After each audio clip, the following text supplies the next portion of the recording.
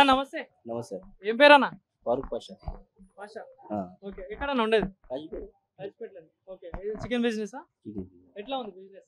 Okay పర్వాలేదు. మంచి rate ఉంటుంది కావచ్చు. అవును. పోతుందా బాగానే గిరాకీ? అవును అనుకుంటే ఓకే ఎంత వస్తుంది అన్న? నార్మల్గా ఇన్కమ్ ఎంత ఉంటుంది?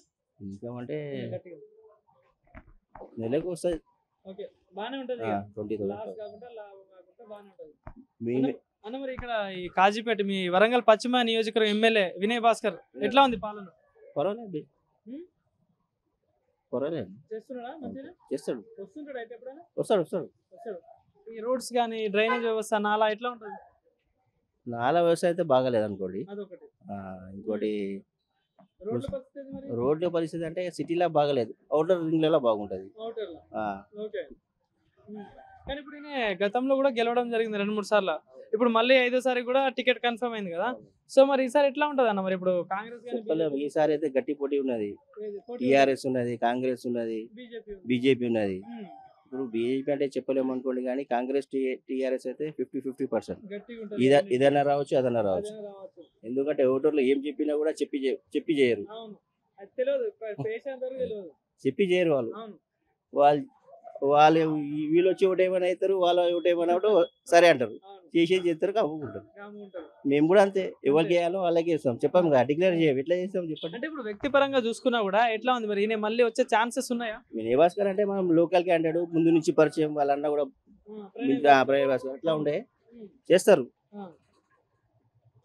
కేసీఆర్ సంగతి ఏంది మరి? కేసీఆర్ తెలంగాణ వచ్చి పది సంవత్సరాలు అవుతుంది. కొట్లాడి తెచ్చుకున్నాం కదా. ఎట్లా అనిపిస్తుంది? కానీ మనం చెప్పలేం. కేసీఆర్ అంటే ఇప్పుడు కేసీఆర్ తెలంగాణ అంటే ఏమంటారు ఐకాన్. కేసీఆర్. అంతే మోడల్. మాటలతోనైతే చంపేస్తాడు మనుషులు.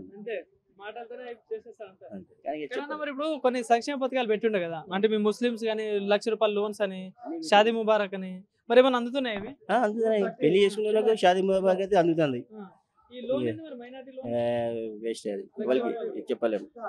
ఓన్లీ కార్యకర్తలకే అందుతున్నాయి అవి. ఎవరైతే జెండా పట్టి తిరుగుతారో వాళ్ళకే అవన్నీ పథకాలు. మా మామూలు సామాన్య ప్రజలకైతే ఒక్కడికి రాదు. ఎవరికి ఏం రాదు ఎవరికి ఏం ఇయ్యరు కూడా. ఎవరైతే జెండా పట్టి తిరుగుతారో వాళ్ళకే అది పథకాలు. అంతే. సో మరి అన్నప్పుడు ఇందాక మాట్లాడుకున్నప్పుడు ఎన్నికలు కూడా మళ్ళీ వస్తున్నాయి కదా. సో మరి సరే మరి ఎట్లా ఉంది ఇక్కడ?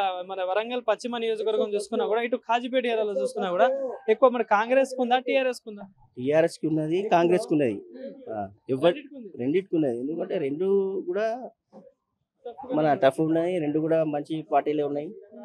రెండు ఇద్దరు క్యాండిడేట్ కూడా మంచిగా ఉన్నాయి ఇక్కడ. కాంగ్రెస్లో ఇద్దరు పేర్లు వినిపిస్తున్నాయి కదా. కాంగ్రెస్లో ఉన్న నాయని రాజారెడ్డి ఉన్నాడు. జంగారెడ్డి ఉన్నారు వాళ్ళలో అది. పార్టీ ఏం డిసైడ్ అవుతుందో తెలవాలి. అంటే మీరేమనుకుంటారు? ఇద్దరులో ఎవరు వ్యక్తి చేసే పని? లోకల్. రాయని కూడా లోకల్ కానీ అనంకొండ సైడ్ అది. ఈ మన జంగారెడ్డి సార్ ఏంటంటే ఇక్కడ టేక్లో కూడా కాజీపేట దగ్గర సుమారు రెండు మూడు కిలోమీటర్ ఉంటుంది అంతే. అయితే ఎవరు చేసినా కూడా మన లోకల్కే సపోర్ట్ చేస్తాం. కానీ కొంచెం ఆపోజిషన్ స్ట్రాంగ్గా లేదు మళ్ళీ అందుకే వినయ్ భాస్కర్ గెలుస్తాడు కూడా కొన్ని మాటలు అదే. అదే చెప్పలేం. కంపల్సరీ కావచ్చు కూడా అట్లా కూడా కావచ్చు. ఎందుకంటే ఆపోజిషన్ పార్టీనే లేదు. ఎవరు గట్టిగా ఎవడు ఇట్లా పోటీ ఇచ్చుడు లేరు. అందువల్ల చెప్పలేం కాంగ్రెస్ కూడా రావచ్చు టీఆర్ఎస్ కూడా రావచ్చు. లేదంటే ఈ పాలనతో విసిగించారు అంటే మస్ట్. మార్పు రా మార్పు రావాలంటే మళ్ళీ కాంగ్రెస్ రావచ్చు